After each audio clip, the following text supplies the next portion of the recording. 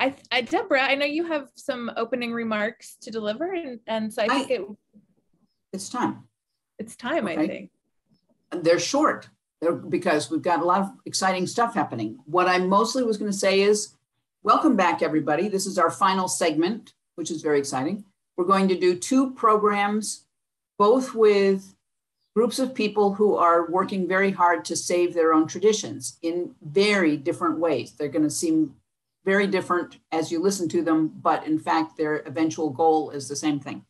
And then after that, we've had a number of people say that they didn't want it just to end so abruptly and disappear. So there will be breakout rooms or a conversation group at the end for anybody who's not ready to just turn it off. Um, we're glad you're here. We're glad you've been here for the weekend. It's pretty exhausting.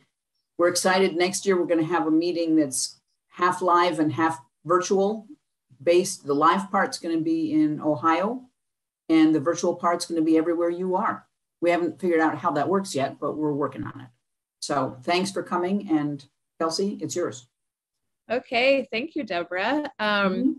So it is my pleasure to introduce the first panel of our two panels today. And before I do that, I just want to thank everyone, like Deborah thanked everyone. Um, right, it's awesome. just been a great pleasure to have you all here this weekend, or if you're joining us um, for the first time this weekend, then welcome to you.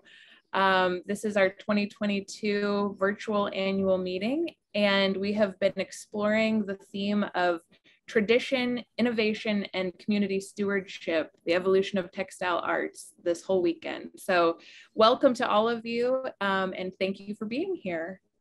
So our, our first panel discussion today is Reviving Traditional Textiles of India.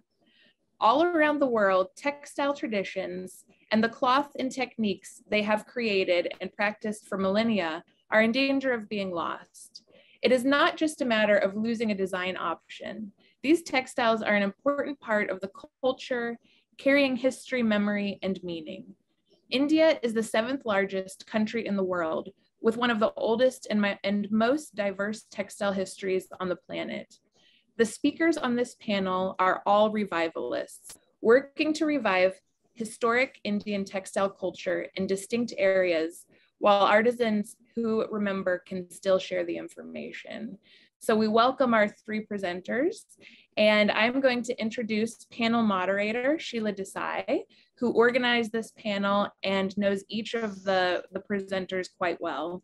So Sheila is founder and owner of Canadian-based EYHO Tours, which specializes in textile travels to the world's traditional societies. Throughout her tours, Sheila connects creators from traditional societies to appreciators from the industrialized world. Textile sales in Canada, support of local nonprofits, and visits and workshops with local artisans are ways in which EYHO helps to sustain the world's marginalized art artisanal societies. So Sheila, welcome to you, and I turn it over to you to uh, introduce the first presenter.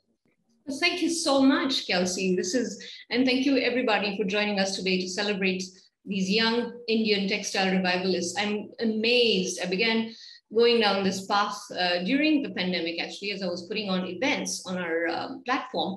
And I was amazed by their passion and commitment to rejuvenating lost textile heritage. So please welcome our first panelist, uh, Shweta Mukherjee, who is based in Delhi. Shweta is a textile revivalist and collector. She promotes slow and sensible fashion. She works with small clusters of weavers to revive and recreate weaves that are in danger of dying out. Presently, she's working with muslins, trying to recreate indigenous yarns and fabric and blend the yarns with uh, animal fibers such as pashmina uh, on old traditional pit looms. In historical terms, muslin of undivided Bengal was the gold of textiles. It brought traders from the West to Bengal. Through the quality of original, though the quality of original muslin cannot be reproduced, Shweta is trying to get closer to the texture and fineness of the indigenous yarns. So Shweta, you want to come on? Um, Hello, everyone. I hope you can hear me. So I think uh, maybe the best is for everybody to put on a speaker view, maybe, or I don't know. But anyway, Shweta, I can't see your you as an image. I can. I don't see your. Are you on it? I wonder. I am there. I. Yeah. Okay, there you are. Okay, good. And we'll get started. So Shweta, tell us about muslin, which is the golden textile of Bengal, also the gold of Bengal, really. Um, so get, get started. Um, a very uh, warm welcome, everybody. I'm Shweta Mukherjee. Sheila, happy birthday. And uh, so uh, let's begin. Uh, so I'm here to talk about muslin of uh, undivided or united Bengal, which is, as well as it was, golden textile of Bengal. So let's begin. Sheila, next slide, please. Yeah. So over here, we are uh, trying to discuss in my presentation, I'll discuss about origin, history, fall of our indigenous muslin revival, and our role, how we are contributing to it. And for you people who are not, uh, yeah, so the map, yeah, carry on. Mm -hmm. Yeah, so in this map, you can see uh, it is United Bengal, which has, uh, which used to be uh, Bangladesh, which is now, and our present West Bengal. So this is a united province of Bengal. Can we go to the next slide, please? So let's talk about origin of muslin. So cotton textiles of Bengal province, which used to be known as Bengala, were exported to different parts of the world even 2000 years ago. But then it was not known as muslin.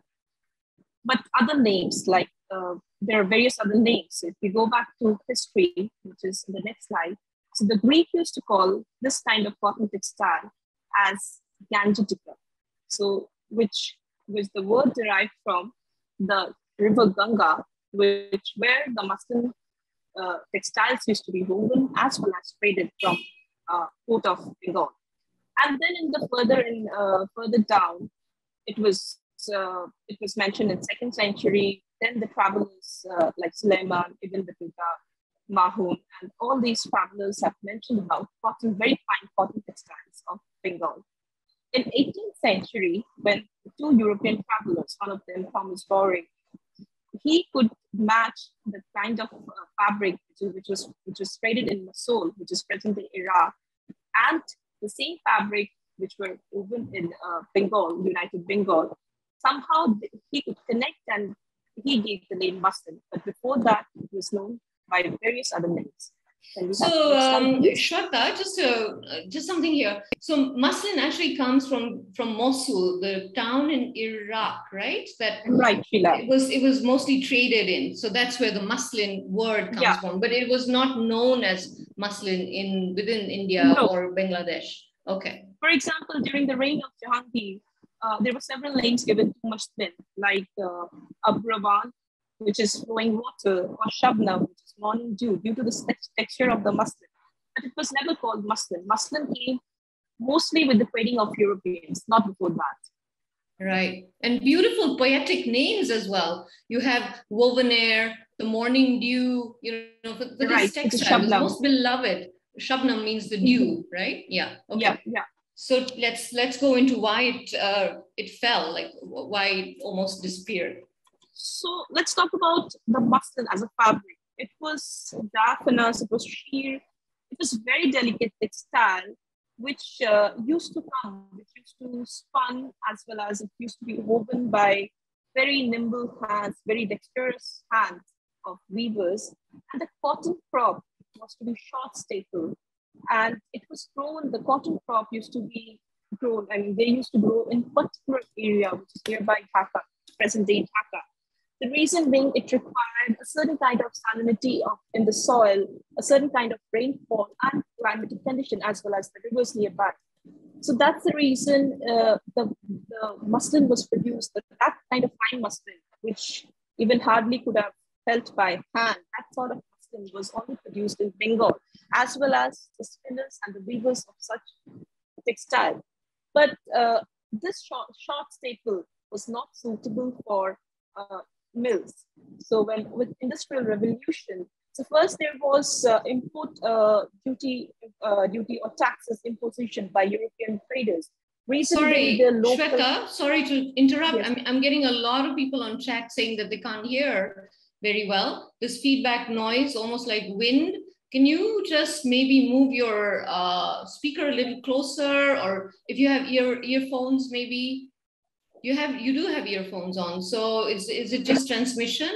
Yeah, there's we've got turn off all audio except speaker. So Darlene says, can you please all mute yourselves uh, and everybody turn it. I, I can also turn myself off so that there's nobody else talking except Shweta. Would that work? Let's try that, everybody. Can we mute ourselves completely, all of us, and only Shweta talk? Yeah. All of our attendees are muted. I think, uh, Sweta, is your is your microphone in your earpiece or in your computer? Where is your audio coming in from? Uh, is it okay at the moment? Mm, no. Is it audible? That that's better right there. Yeah. Okay. Maybe, so maybe slow down, slow down the delivery as well a little bit. Yeah. Oh. Okay. Okay. All right. Okay, let's get let's move on. All right. So sorry. Oh. Uh just a sec. I'll go back to the slide. Yeah. Carry on. So yeah, still talking about the so I was, I was talking about the muslin and uh, the finest of muslin, uh, which hardly could have uh, we could have touched them. So similarly, uh, the, the fall actually began with high import duties by French government and then uh, British government. And all these had happened because the muslin was muslin and particular type of muslin, which was Kasa. It was competing with their own production of woolen clothes, and linen. So there were high import duties. And secondly, post to industrial revolution, British wanted to uh, you know, generate or produce muslin with uh, mills, with Lancashire or Manchester mills. And the yarns uh, for that, for those mills, the cotton uh, yarns were not suitable of that of Bengal. So they wanted to discourage the indigenous or desi crops, particularly two varieties which used to produce finest of muslin, which is and Boirati, mm-hmm. which uh, they were they were cultivated in Dhaka, present day Dhaka. So that's okay. the reason uh, the fall started. And by uh, by mid by mid 20th centuries, Bengal used to be the uh, exporter of uh, fine muslins, fine cotton textiles. But by mid-century, by, by mid 20th centuries, we were the consumer of Britain uh, cloths, Britain yarns as well as cloths. So uh, that's how that's that's the story of fall. Mm-hmm. Okay. So one more sorry note about make sure the Microsoft microphone isn't rubbing against your scarf uh, Sweta? Is it okay? Yeah. Okay, let's go on. Right. Uh, so indigenous and your role now with the revival of indigenous muslin, which is, right. as you can see here, it's also used for draperies and ever so fine. Carry on. Right. Mm-hmm. So if you see the uh, photograph or the image over there, you see how uh, sheer fabric uh, that we have made, it is not as fine as, uh, you know, the, the previous cotton because we don't have the crop. But with uh, even hybrid cotton, we are making such fine cottons uh, and Jamdani work on it. So for example, this, this is a two meter cloth and uh, width is about one meter and, uh, and this textile is about uh, 40, 40 grams, 42 grams. So this is the weight that we have come.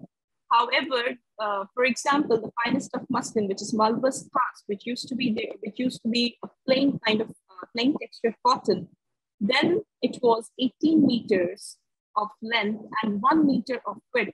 Such kind of cloth used to uh, weigh about two, 255 to 240 grams. So it's uh, yeah, it's, it's amazing, a, isn't it? Yeah, amazing. I mean, uh, right. but still we can go nearby, but uh, it will take us. Uh, it will take time. It will take a lot of patience to go back to to visit our history. So there were three kinds of muslin, which was, as Sheila said, plain, patterned, and flowered. Now, in case of patterned, patterned used to be uh, with hand embroidery, and the pattern, again, uh, the second pattern was from uh, loom embroidered fabrics. So the loom embroidered pattern fabric is what we have Jamdani, and then also it was uh, Jamdani. And in pattern, we used to have chikan embroidery, which actually originated from Dhaka, and uh, uh, you know, it was uh, it was Noor Jahan uh, who uh, who who tried chikan on muslin first, as mm-hmm. well as uh, silver threads like Kashida Badla, these right. uh, these works, and still we practice such works. And in our revival story, you can uh, we are we are trying to make uh, these embroideries on such fine muslin. Okay, let's go into your role. You're you, as you said, you're working so on we are focusing on right. So we are mm-hmm. focusing on uh, creating finer hand spun yarns. What is happening with technology, with machinery, you know, with uh, uh with uh, fast fashion? the the sustainable handspun or the uh, handspun yarns are getting uh, you know deteriorated day by day the quality as well as the demand so we are trying to focus on that we are trying we are trying to get different kinds of cotton and see how elast uh, see or check their elasticity their fragileness and we are trying to get fine because if we have fine yarns we can weave fine muslin we can give fine texture right. second we are reviving very uh, the plain muslins which is almost uh, there is uh, start, it's, not there yeah. yeah.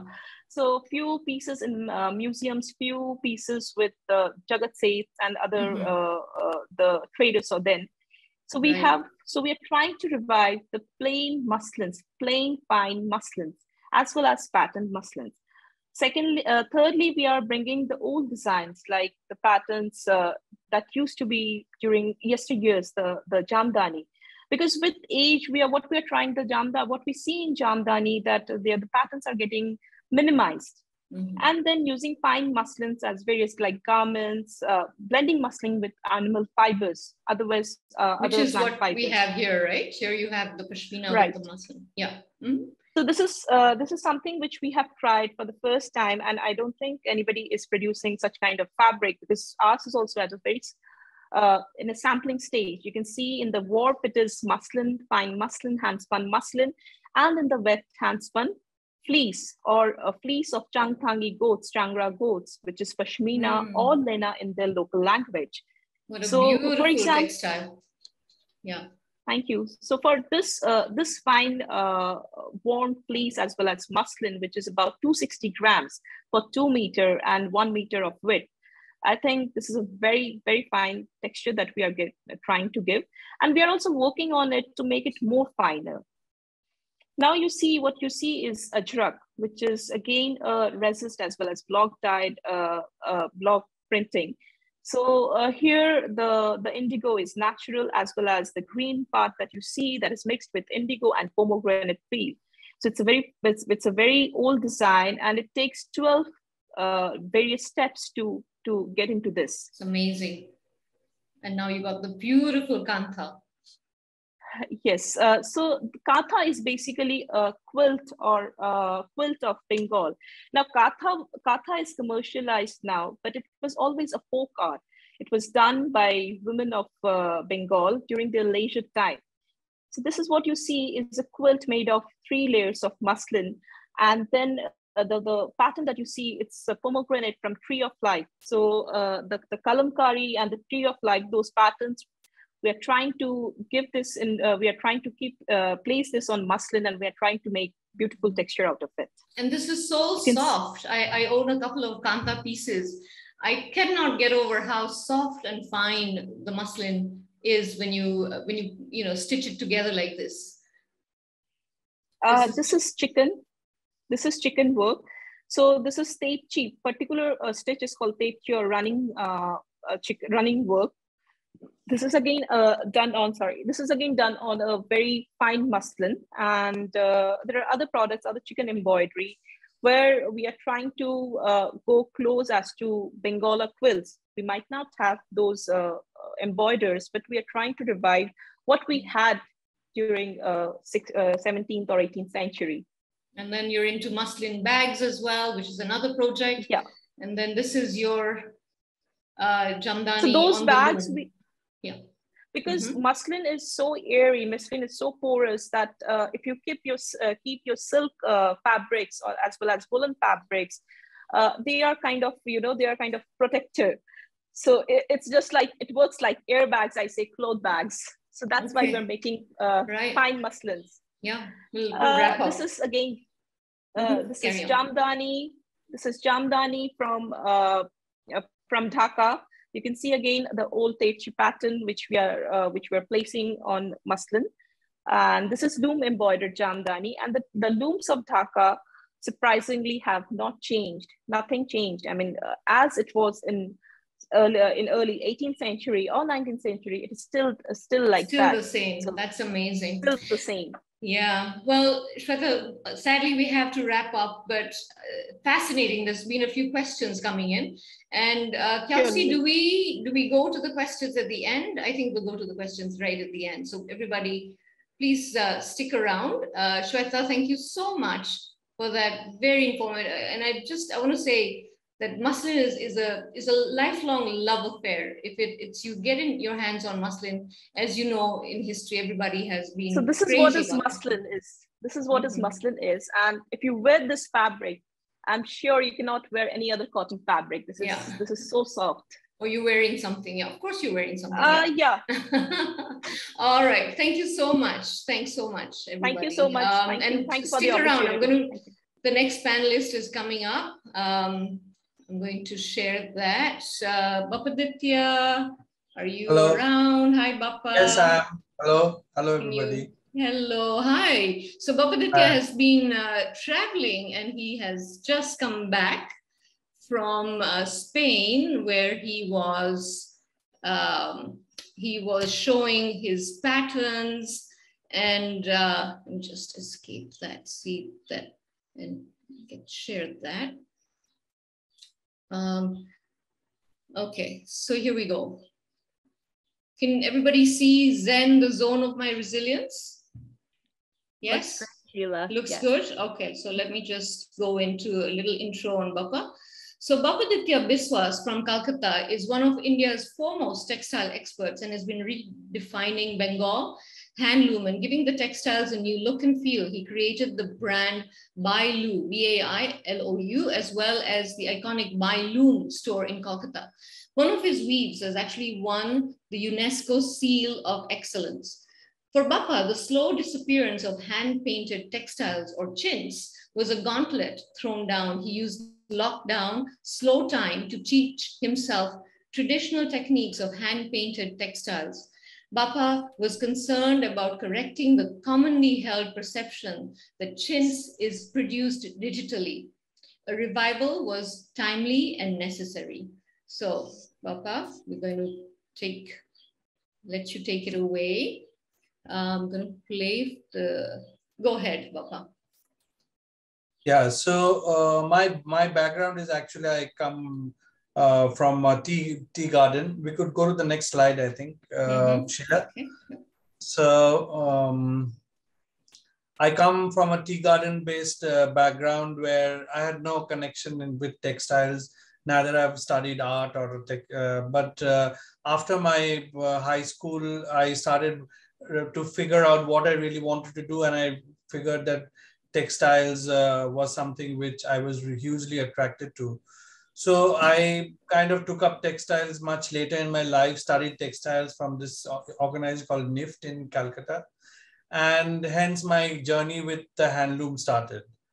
So uh, I basically started working with the handlooms because way back in uh, uh, around the turn of the, um, I mean, millennium, the Bengal handlooms was going through a huge slump. And there was hardly any work for the weavers and I saw actually how the looms were being dismantled and being sold off as firewood. So that really moved me a lot. And uh, I uh, thought that if I've studied textile design and if my, I mean, knowledge I can put into some use and work with the community to build up uh, alternative markets for the skill that they have, which has been passed down from the generation uh, so that they can earn their I mean livelihood. So with that thing in mind, we I started working uh, with the community of weavers over there, where I where we started doing experiments with textures, and we formed a new genre of uh, genre of textile, which is now called Bailou, which is actually our brand. But our experiments were so um, unique in itself that people started calling our textiles as uh, Bailou textiles. So it's now in India, if you, if you uh, know that I mean, they re refer to our the textiles as Bailou. So this, I was working for the last 20 years and then suddenly the pandemic happened. And uh, as we all know that rural India was very badly hit. Uh, there was no work, things stopped totally. And I was watching all my weavers, I mean, all their work coming to an halt. But we kind of supported them in a way. We placed orders in advance so that our weavers would have worked throughout the pandemic and uh, would run their looms. But what I started doing is I started uh, Bengal. Um, I mean, really had a rich history of indigo, but uh, it it was also a very sad history where the oppression of by the uh, I mean British indigo cultivators was went to such heights that uh, the farmers they stopped uh, planting indigo because there was a huge Bengal famine which happened because they were forced to plant indigo and not uh, seed of rice so they had no food and the man-made famine happened in Bengal. I'm talking about almost 200 years back. And the, that the impact of that was so deep into minds of the people uh, that uh, Bengal stopped sowing indigo after that.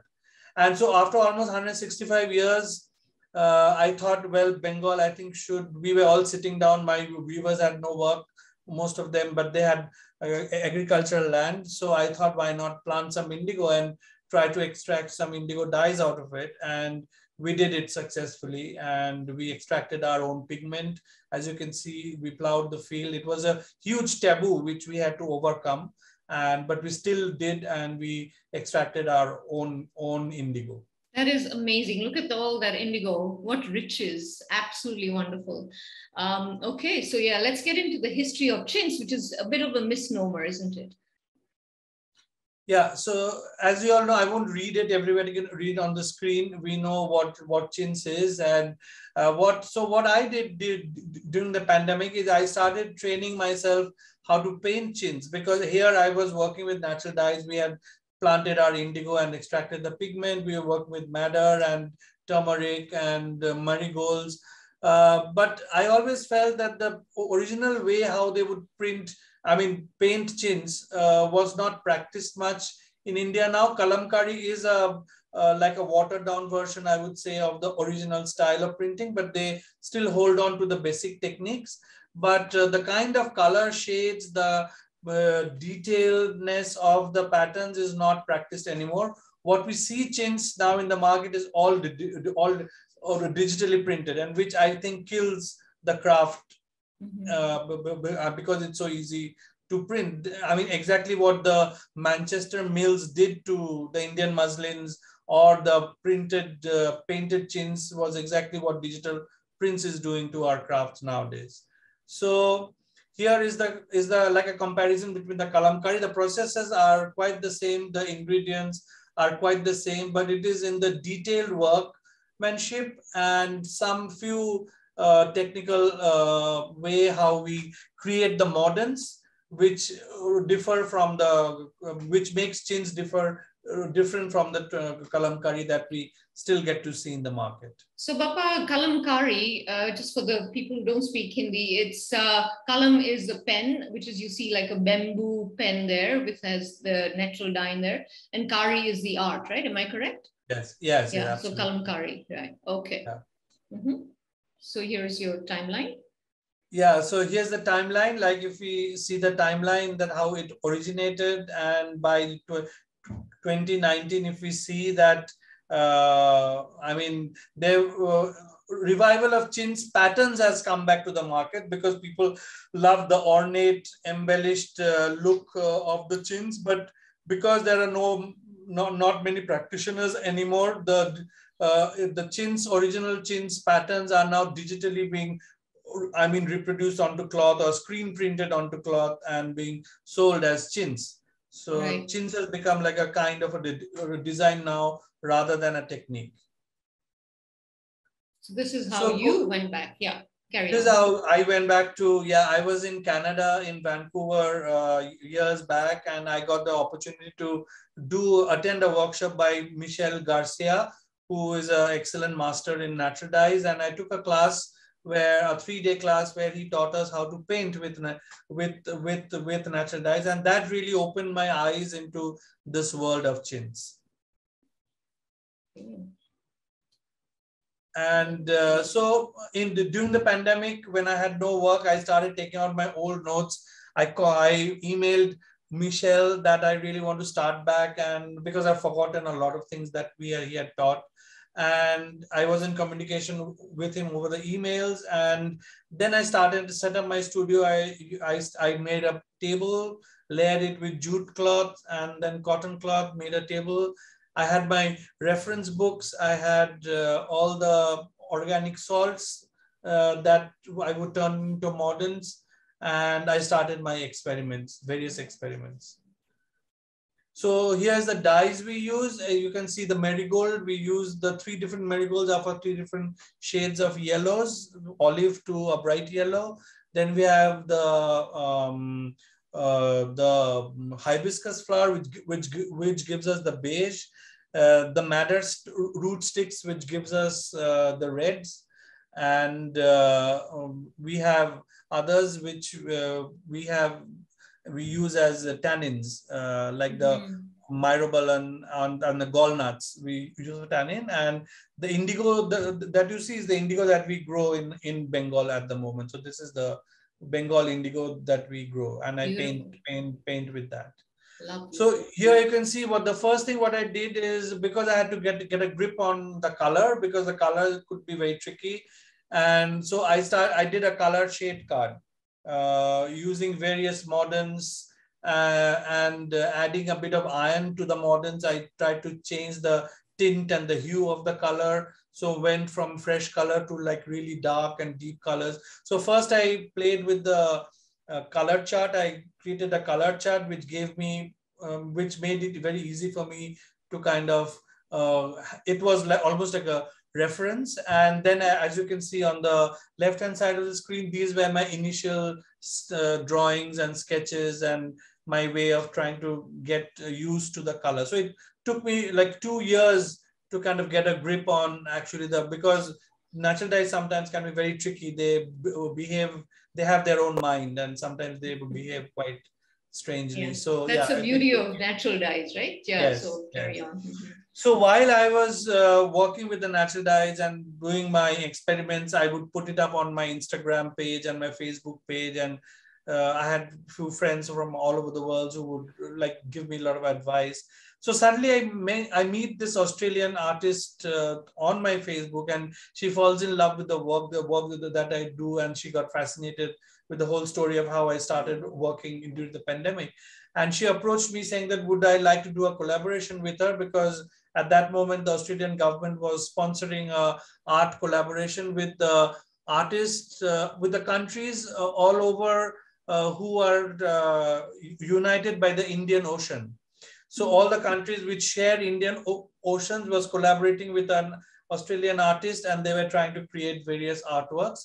So my collaboration with the artist was uh, all the mythological creatures of the Indian Ocean. Uh, and we started with that and we ended up into what we get now in in uh, is like plastic and chappals and uh, toothbrushes and plastic bottles. So it was a very beautiful transition which we showed through the through the paintings. Oh, and uh, yeah so yeah. Okay carry on. Mm -hmm. and these so slowly as i started working as you can see from my initial doodles to here which is becoming my hand was getting more and more uh, uh, Uh, uh, stronger and uh, my grip was getting more and more stronger. As I was trying to be able to keep the dyes in a certain way, the way, way I wanted wasn't bleeding. I was getting, a, uh, I could replicate the depth and the richness of the colors every time I was dying. So as I kept on working, it became better, better and better. You could you can see the tran transition. Beautiful, beautiful. And look at this and now. this is my oh current my work that I'm working. So I think I've come closer to the original chintz, as you can see. Uh, so my inspiration is always from the old paintings that I that are only available now in a museum books and collectors. So I bought this whole lot of books from the uh, I'm Victoria Albert Museum and various books I refer to to uh, I mean carry on my work. But I also put in my own idea of the birds and the placements are different, and I I uh, get inspired from various uh, uh, elements of chintz because chintz is a very complicated uh, design uh, layout. So I simplify it at times. I take out some parts and I recreate and create my own chintz. Amazing, amazing. So thank you so much, Bappa. That was just amazing. You can find Bappaditya on Instagram, uh, Facebook. Instagram is under Bailou, right? Am I correct, Bappa? You didn't have your, do you have yeah, your yeah. details here? B-A-I underscore L-O-U, correct? Yeah. Yeah. yeah. He's on Insta. And uh, if anybody's interested in getting in touch, please contact Kelsey and Kelsey will contact me and we will put you in touch with Bappaditya, who's truly uh, one of India's uh, tr treasures, you know, to, in, in, how he's reviving Kalamkari. So thank you so much, Bappa, for thank joining us thank today. Thank you very much. Okay, then. Bye-bye. All right. So um, I hope you're, you've all, uh, you're all waiting for the final panelist now, who is uh, Shashi of um, of Yatri Weaves, and I'm going to see if I can call up her presentation to share here. Uh, let me see now. Okay, here we go. So please welcome uh, Shashi. She also know, goes by the name uh, Gayatri. Gayatri is her, her, um, her, her real name. Oops. Um, can everybody see the screen right now? Yes. yes? Okay, so I'm going to tell you a little bit more, a little bit about uh, Gayatri or Shashi. Shashi she prefers to go by the name Shashi of Yatri means. Yatri means journey, and it has been a, a, lifelong journey or almost a lifelong journey for this young revivalist. She's an independent textile researcher with a full-time job uh, in a corporate office in Chennai, in India. Chennai is also the new name for Madras, and she's currently working with two weaving families and two artisans who help her recreate forgotten textiles of Tamil Nadu. So let's just go into, just get back into my Zoom here. Okay, so let's start the presentation. Okay, so Shashi. Okay. Hello, everyone. Thank you so much, Sheila.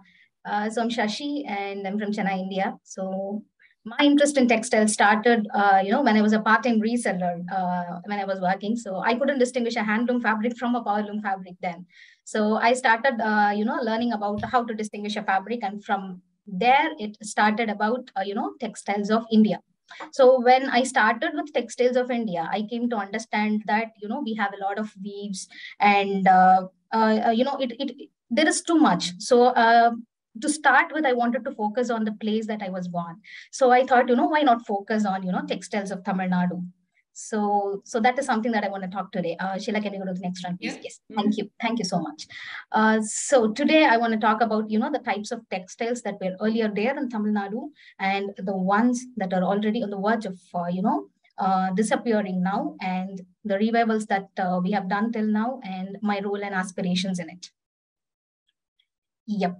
Uh, so when it comes to textiles of Tamil Nadu, I have tried to categorize these into three things. So one being the hand painted textiles, the second being the hand woven textiles, and the third being handcrafted, where I have, you know, uh, put it as embroidery and lace, lace making. So hand painted textiles, like Bappa was saying, the entire coast of, you know, the Coromandel uh, part was, uh, was uh, doing hand painted textiles.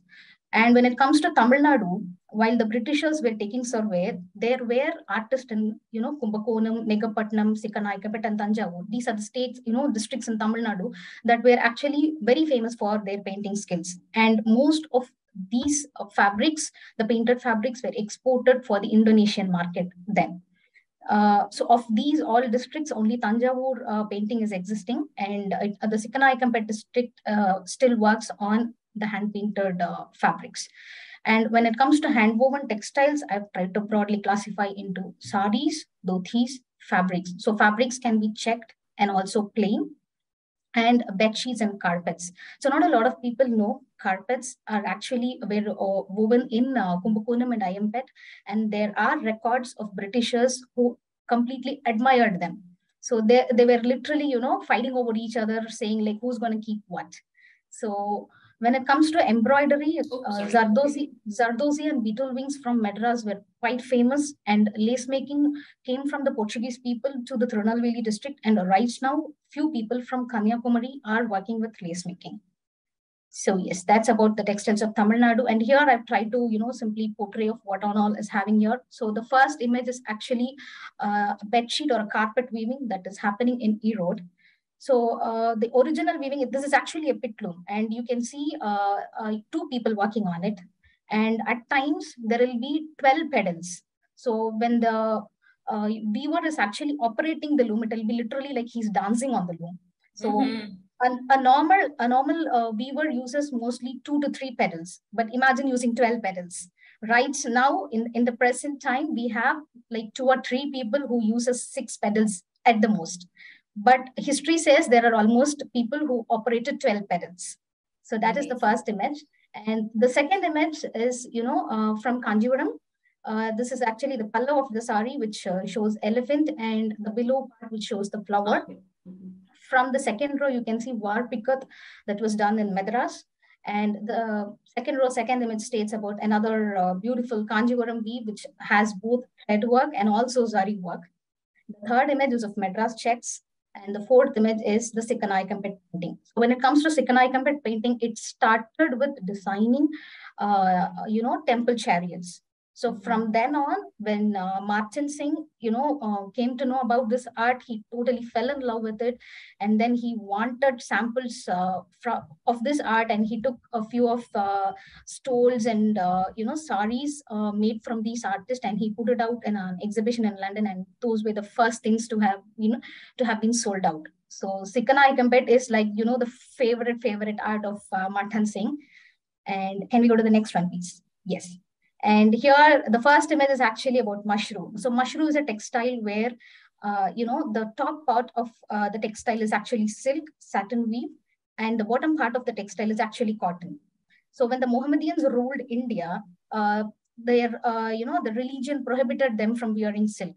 So in order to technically wear silk, they invented a mechanism where the silk doesn't touch the part of the skin, but still it will be like they'll be wearing uh, silk. So the first uh, three images are of, you know, ikat and the tie and dye pattern, whereas there is also patterned mushru. Not a lot of people know that we also did patterned mushru. Everybody thinks, you know, it's just, you know, ikat patterns or stripes or plain, but we also did patterned mushru. And to the top right, you can see Kodali Karuppur, which is a tapestry weave uh, done using, uh, you know, uh, cotton. And um, it was actually hand painted. Not a lot of people know that also. Everyone thinks it's actually block printed, but it is hand painted. And, uh, you know, uh, there's also tapestry weave and it is naturally dyed. So there's so much history about Kodali Karuppur. We can talk about it all day. Yeah. And the last two images are about, you know, beetle wing embroidery. Which is beetle wing embroidery. Beautiful. Thank you so much, Sheila. So when it comes to beetle wing embroidery, uh, we have records of uh, this embroidery dating back to 6th century BC. And Deccan region was actually creating these for the European market. And Madras was, you know, uh, one of the highest exporter by them. So there were few women from uh, Thandayarpet. So currently the place is called as Thandayarpet, uh, who used to do beetle wings. But right now there are nobody uh, doing it. Uh, so we have tried to, you know, uh, ethically source beetle wings and with the help of a karigar, I'm trying to do certain projects uh, uh with a limited uh, number for the particular time of the year. I think you're one of the few beetle wing revivalists because the, the this image that you see on the top right hand bottom of your screen is hmm. the the dress that was for one of the governesses i think that is right now in a museum in japan but not yes. many people have been uh, successful with beetle wing uh, revival can we go to the mm-hmm. next slide, Shashi? Yes, please. Okay, so your revival. Mm-hmm. So my revival. So when I started with, I wanted to work with uh, a family first i started i want to started with one family of fever so i started with my hometown and then you know i persuaded them i, I gave them museum samples and uh, and i told them like see you're a national award winner. And uh, you know your family has uh, so much history because by the time when british were documenting IMPT had only like uh, 15 or 16 viewers. And from then on your family is still, uh, you know, working on uh, Mushru. So the local name for Mushru here is actually Putni. So I persuaded them and then I, I told them like, okay, let's not start with Mushru. Why don't you do a normal silk? We'll start with Warp Ikat. Uh, so we started with Warp Ikat and then we went to work on, you know, satin border saris. And uh, and currently we are working on few projects. We'll probably keep you posted once, uh, you know, they're off the loom. Mm-hmm. And I'm mm-hmm. also working on a Desi cotton revival from Tamil Nadu. So there's already a young, uh, you know, revivalist who already, you know, revived the cotton and uh, he spun yarns out of it but we are trying to you know make something useful out of it probably bring a revival version of the madras wow. checks and uh, beetle wing embroidery and hand painted Sequin carpet fabric. I, so that I is have what a question. Do you yes, ever sleep, uh, Shashi? Because you know you have a full-time IT job, and then you're also reviving all this. So I amazing, amazing. Let's go to the your revival, so, your actual revival here. Mm -hmm. Yeah. So this was my first project that started in the pandemic. So I gave them uh, initially the image, but they weren't able to comprehend uh, what design was there in the pallu of the sari. So we again had to go back to the museum archives and then get in the original details. And then I told them, you know, uh, let's do it in the old method. So the old method, which doesn't use the jacquard machine. So everything uh, that you see in the right side of the image here is done using hand with no machines involved. So you can see pikat, and you can also see uh, patterns in the border of the sari and patterns on the pallu of the sari with the whole, uh, you know, body uh, having something what we call as muttukattam. Muttukattam means pearl checks. So that is what we call. So this, so this was my first project. And my second project, I chose, uh, you know, a satin weave. So the image you see in the top right is actually a silk based weave. So I took the motif of it and then I told, why not try this in uh, a satin weave. So that is what we tried. So in the first and the second image, you can probably see the front side, which has, you know, the red uh, silk base and the back side, which is a green silk one, and the satin border with the sheen. And in the second, uh, you know, bottom uh, image, you can see uh, uh, Gandaberunda, which is actually a two-head uh, word and also a mythological creature called Yari. So that we have tried to incorporate it in the pallu of the sari. And if you see the second image in the sari, we have also tried to incorporate the signature of the weaver. So it's not just me, right? So there are also people involved. There is a master weaver involved. So I wanted to put in this, put his name also over there. So we created a script which is uh, usually found in the temples. So and we create, uh, we translated it, uh, we translated their names using the script and we wove it in the pallu of the sari. So that is what you see here. And the pink one is actually my favorite. So it's actually called a Susi uh, pattern. So Susi is a pattern that was used for making trousers uh, for the English people. Uh, so instead of making a whole fabric, we thought, why not, you know, try it on the border of the sari? And what you see here is the, actually the result of it. Mm-hmm. Beautiful, beautiful. Let's go to the and, mushru. Yes, and this is the actual mushru. So for the top one, we've used a mulberry silk, and for the bottom cotton weave, we have used a hundred count hand spun cotton. Oh so this goodness. is the actual mushru. And with the help of a karigar, I tried to recreate a pattern uh, of the museum uh, tent of the Mughal period in the pallu of the sari here. So we have mm. created two flower, I mean, uh, two rows of flowers in the pallu of the sari and uh, the satin weave on the front and on the reverse side, you can see, uh, you know, the cotton. Lovely, lovely. Okay, here we come to the beetle wing. Um, yes. There's a question about the beetle wing. So maybe you just want to get into how you, uh, where you get these and, you know, how you harvest them very quickly. So uh, we source, uh, uh, you know, these uh, from mostly from Thailand. These are ethically sourced, and uh, uh, I do all the cutting and the, you know, putting drilling the holes part here.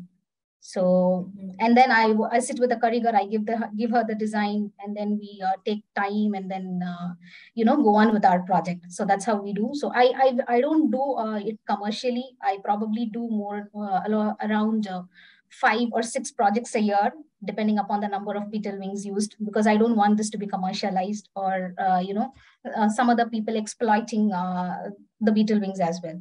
So i do very limited number of beetle wings here. The middle image you see is actually my first project. Uh, i call it tree of life. So that there were about 150 to 200 wings that we've used for this uh, particular uh, sari. But the ones on the blue is actually a stole uh, so we wanted to use less of beetle wings and more of the embroidery, and we tried to, you know, match it.